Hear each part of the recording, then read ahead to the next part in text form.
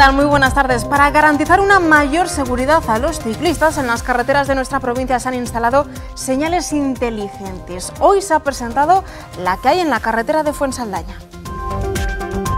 Esta es una de las cuatro señales inteligentes que se han instalado en nuestra provincia. Son inteligentes porque detectan la presencia de ciclistas. Cuando una bici pasa, se ilumina avisando a los conductores, algo muy importante para la seguridad, especialmente en un día de niebla como hoy con visibilidad reducida.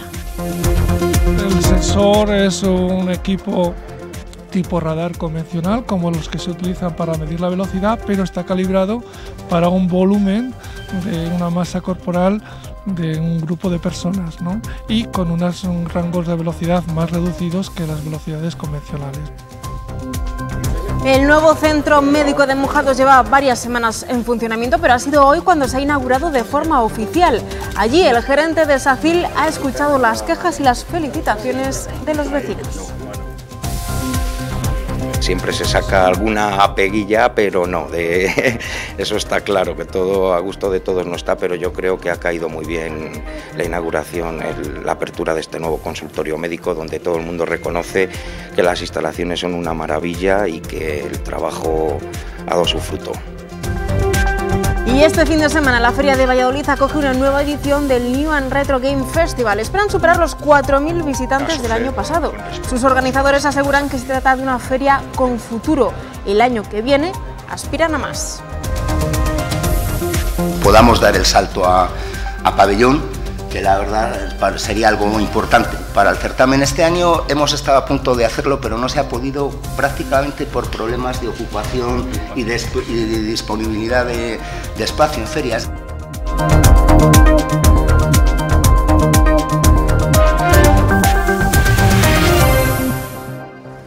Son como los radares convencionales, pero detectan un volumen de masa corporal y unos rangos de velocidad menores. Y es que su función es avisar de la presencia de ciclistas.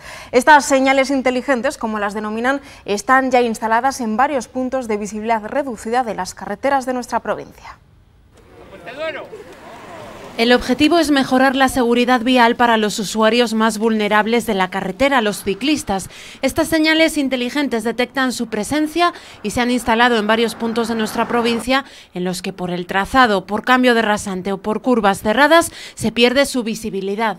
Una que está cerca ya de Fuensaldaña, otra que se va o se ha instalado en Renedo y otra a la altura de Castrodeza las carreteras Valladolid 514, la 900 que es esta y la 140.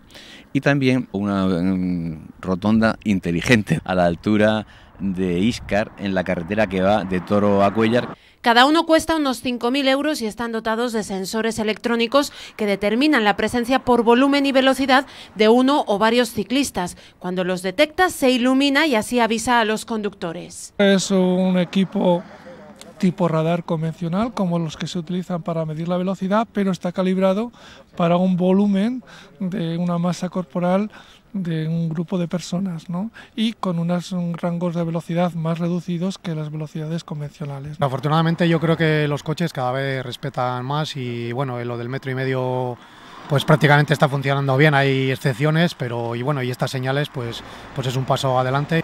Y eso es lo principal, apoyo y conciencia de instituciones y sociedad para que ni esta niebla tan vallisoletana sea un peligro para los ciclistas. El Instituto Antonio Tobar de Valladolid puso en marcha en este curso el proyecto europeo STARS, un paso más allá de los caminos escolares seguros que alienta a alumnos y profesores a acudir a clase de forma sostenible, caminando, en bicicleta, y el resultado está siendo tan bueno que hoy han recibido la acreditación de bronce. Tres médicos, un pediatra, tres enfermeras y un administrativo trabajan desde hace un par de meses para atender a los cerca de 3.000 vecinos de Mojados en el nuevo centro médico. Hoy se ha inaugurado de forma oficial y hemos pedido saber cómo está funcionando. Lleva unos meses funcionando y en Mojados en general están contentos con el servicio que ofrece el nuevo centro médico de la localidad. Siempre se saca alguna apeguilla, pero no, de, eso está claro, que todo a gusto de todos no está, pero yo creo que ha caído muy bien la inauguración, la apertura de este nuevo consultorio médico, donde todo el mundo reconoce que las instalaciones son una maravilla y que el trabajo ha dado su fruto.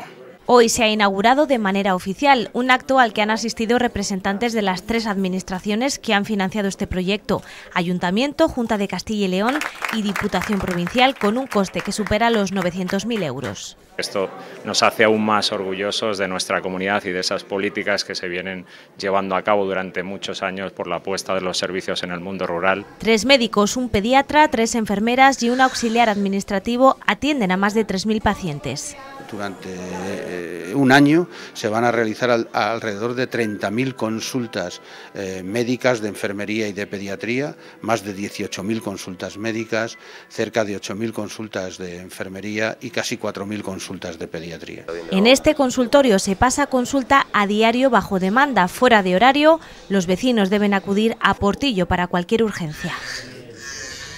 Y en las próximas horas se fijará la fecha exacta en la que se celebrará el juicio por el caso de la niña Sara. Previsiblemente tendrá lugar entre abril y mayo. Así lo ha señalado el presidente de la sección segunda y de la audiencia provincial, Feliciano Trebolle. Será el caso con jurado popular más largo de la historia judicial vallisoletana. Serán unos 45 testigos y 12 o 13 peritos. Por ello está previsto que dure unas tres semanas. La niña Sara falleció en agosto de 2017 y desde entonces están en prisión tanto su madre como su compañero sentimental.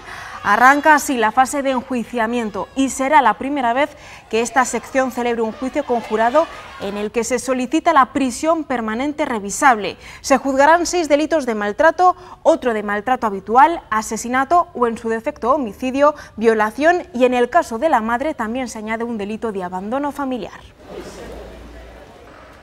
Y en cuanto al aeropuerto de Valladolid, el número de viajeros este año se está disparando. En el mes de noviembre han pasado por aquí casi un 31% de viajeros más hace un año. En lo que va de 2018, entre enero y noviembre, han pasado por este aeropuerto más de 234.000 viajeros, de ellos más de 25.000 en vuelos internacionales que han aumentado un 14%. En este periodo se han gestionado en total 4.730 aterrizajes y despegues.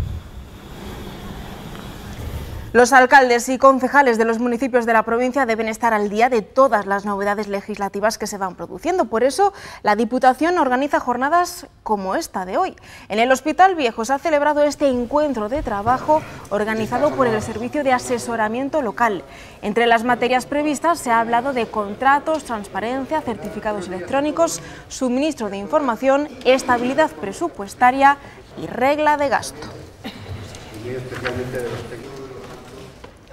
Y el especialista en neuromarketing y autor de varios libros, José Ruiz Pardo, ha impartido una conferencia durante el acto de entrega de la tercera edición de los premios Madison, que convoca a esta empresa al mejor trabajo de los alumnos del grado de Marketing e Investigación de Mercados de la Facultad de Ciencias Económicas y Empresariales de la Universidad de Valladolid. Un premio dotado con mil euros. Eh, empresas con las que trabajamos y que al día las y enseguida les contamos qué es lo que ha preparado la Diputación de Valladolid para disfrutar de este fin de semana, el último del otoño, sin salir de la provincia.